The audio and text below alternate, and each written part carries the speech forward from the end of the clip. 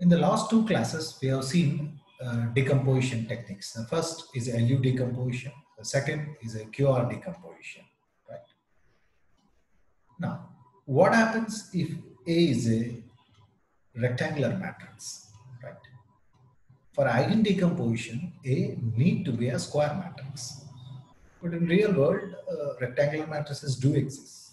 Then how to decompose a rectangular matrix is through a singular value decomposition as an eigen decomposition to a square matrix is a single singular value decomposition for a rectangular matrix. Right. Here is the eigen decomposition. If A is a symmetric matrix, we know A can be written as P, D, P transpose. And uh, this is how it is uh, reconstructed. Now, if A is a rectangular matrix, A can be decomposed as a product of U sigma V transpose or some authors they write it as U S V transpose whatever where U is an orthogonal matrix sigma is a diagonal matrix composed of eigenvalues and uh, V is an orthogonal matrix. V is an orthogonal matrix right so if A is a m by n matrix, then there exists an orthogonal matrix U of size m by m and uh, an orthogonal matrix V of size n by n and uh, sigma, it depends upon our choice, you know. Are we going to take all the eigenvalues or the dominant eigenvalues? To what extent we are contented? It's so composed of. That's the reason we order the singular values as uh, S11 greater than S12 greater than SPP or S22 is greater than SPP is greater than say where uh, P is a minimum of M comma N, right? So the diagonal entries of this uh, sigma or S is what we call singular values of A. And uh, now the issue is how to construct these matrices, right? Now, U is an orthogonal matrix.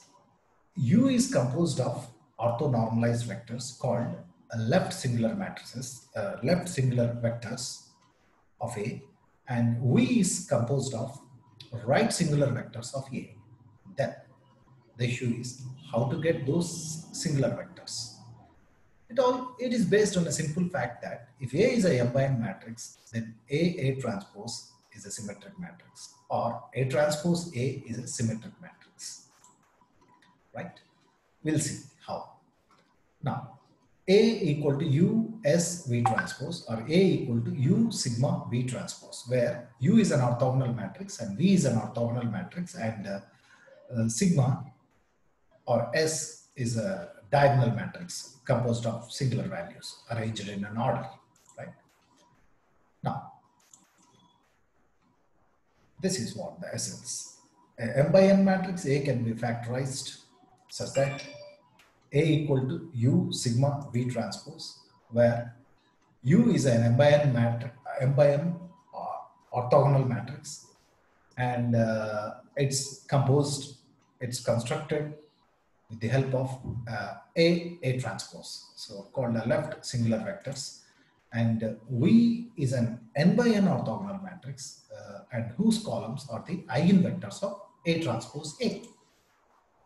And sigma is a diagonal matrix, right? Or singular values or the square roots of the eigenvalues of either A transpose and or A transpose A because the eigenvalues of both A A transpose and A transpose A are one and same, right? Uh, they only differ by zeros so we take the eigenvalues of either A transpose or A transpose A, we order them, we put them in an order, decreasing order, right? And we construct this diagonal matrix taking square roots of these uh, eigenvalues of A transpose or A transpose A, right? Uh, and we construct that diagonal matrix, right? So this is the singular value decomposition. A equal to U U sigma V transpose or U S V transpose. Then the issue is uh, once we decompose, how to reconstruct A. It's pretty simple, right? Like a uh, what is that? Uh, uh, uh, spectral decomposition. Here, reconstruction is done by sigma 1 u1 v1 transpose, sigma 2 u2 v transpose, sigma 3 v3 u3 v3 transpose. Most of the time, the first two, three uh, singular values contains most of the information, right? Okay, so as far as the working procedure is concerned, the diagonal values, sigma 1, sigma 2, sigma n are called the singular values. They're ordered in a decreasing order. Columns of u, u1, u2, un are called left singular vectors, right? And the columns of v are the right singular vectors. The left singular vectors come from AA transpose and the right singular vectors come from A transpose A because AA transpose and A transpose A are called uh, are both symmetric matrices, right? That's what we say. Rank 1 decomposition. I mean, reconstruction is done with uh, uh, uh, uh rank 1 matrices, right? Now let's do an example. And in the next class, we do more examples on that, right? So just to start with a simple procedure. Uh, let A be a 311 minus 31, right? This is a rectangular matrix, 2 by 3 matrix, right? Now, U is constructed with A, A transpose and V constructed with A transpose A and eigenvalues of both A transpose or A transpose, they go as a singular values, of course, with a square root.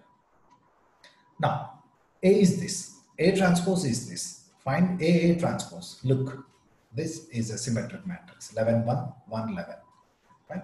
Find its eigenvalues. Let A minus lambda equal to 0. Then its eigenvalues are 12 and 10. We order them, right? We write it as 12 comma 10 not in any order like a 10 or a 12, right?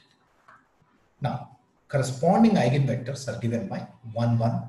1, 1 is an eigenvector corresponding to lambda equal to 2, uh, lambda equal to 12, and 1 minus 1 is an eigenvector corresponding to 10. Now, this being a symmetric matrix, we know that its eigenvectors are orthogonal.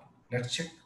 1 minus 1 equal to 0. They are mutually orthogonal. They need to be mutually orthogonal right? If they are not orthogonal, what we do? We, we orthogonalize them through a Gram-Schmidt orthogonalization process, right? Just for a practice, this is how we are we orthogonalize. But in this particular example, there is no need to orthogonalize because they are already orth orthogonal, right? Now, we divide by their norm so that they become orthonormal, right? Then, with the help of these two vectors, we are going to construct U as uh, orthonormalized vector coming from lambda equal to 12 and orthonormalized vector coming from lambda equal to 10, right? Now, how to construct V? V comes from, it's a right singular, uh, right singular vectors. V has to be constructed with right singular vectors. Now, take A transpose A, then A transpose A is a 3 by 3 matrix? We find its eigenvalues. Look, they are all one and same except they differ by 0, right? 0, it has no information. Right? So lambda 1 equal to 12, 10 and 0. We find the corresponding eigenvectors, right? 1, 2, 1 is an eigenvector corresponding to 12, 2, minus 1, 0 corresponding to 10 and 1, 2, 5 is an eigenvector corresponding to 0. Because they are all distinct, they need to be orthogonal. Let's check. 1 into 2 minus 2, 0, right? Fine, they are orthogonal. U2 and U3, 2, minus 2, 0. Similarly, u1 and e3. All these three are mutually orthogonal. Now we have to normalize them, divide by its norm, right? Uh, uh, root 6 is the norm of a v1, root 5 is the norm of a v2, and root 30 is the norm of v. Now, take these eigenvectors, orthonormalized vectors, construct v, this is a v, and this is a v transpose, right? So we got a u from a, transpose, B from a transpose a. Now how about the S? S are the square roots of uh, eigenvalues of either uh, A transpose, A transpose A. It's a 12 and a 10. Now look, this is what. Now, this is a 2 by 2 matrix. This need to be 2 by 3 matrix. This need to be a 3 by 3 matrix in order to hold the equality. So finally, A equal to U sigma V transpose. You multiply all these three, you are going to get back this. Right? Same here. This is how we reconstruct. How to reconstruct? Sigma 1 U1 V1 transpose plus sigma 2 U2 V2 transpose. Right. That's the reconstruction. Okay. So what's the procedure? Take a A, take A transpose, right? Find its eigenvectors called left single left uh, singular vectors. Take A transpose A, right? It's a symmetric matrix. Get its eigenvectors, normalize them. It's called right singular vectors. U is constructed with left singular vectors. Uh, v is constructed with right singular vectors and the eigenvalues of either E transpose or A transpose A. They go as the elements of the diagonal element sigma, right? One small application. We see that in future. Uh, uh, uh, SVD, we use it in pseudo inverse. Suppose y equal to ax is a system of uh, equations, right? If A is, uh, if this matrix A is uh,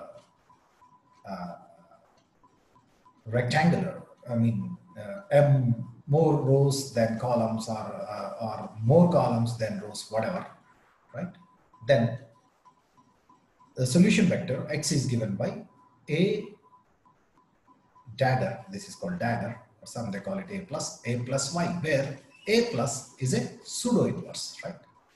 Then, how do you find that pseudo inverse? Uh, because if A is square, no issue. A plus will become A inverse, right? There is no issue at all. The problem comes if A is non-square. Then we need to go for a pseudo inverse, right? How do you find the pseudo inverse? Take that A, perform the singular value decomposition, then A plus is given by uh, whole inverse, right? U sigma whole transpose whole inverse. Then it becomes V reversal law we use V sigma plus or sigma inverse and uh, U transpose, right? Here, A plus is called pseudo inverse of E. Of course, we throw more light. We dedicate one complete uh, lecture on a pseudo inverse in future, right? Now, so this is how we perform singular value decomposition. A a rectangular matrix equal to U sigma V transpose. U is an orthogonal matrix. If A is m by n, U is a m by m matrix, uh, and V is a n by n matrix. So U sigma V transpose. Both U and V are orthogonal vectors. U come from uh, A A transpose and V come from A transpose A, and sigma is constructed with the eigenvalues uh, taking the square roots, and they go as a diagonal elements. Right. Right. In the next video, we'll do more examples on uh, SVD, right? Uh, what is the right inverse, what is the left inverse, and a whole lot of things, right?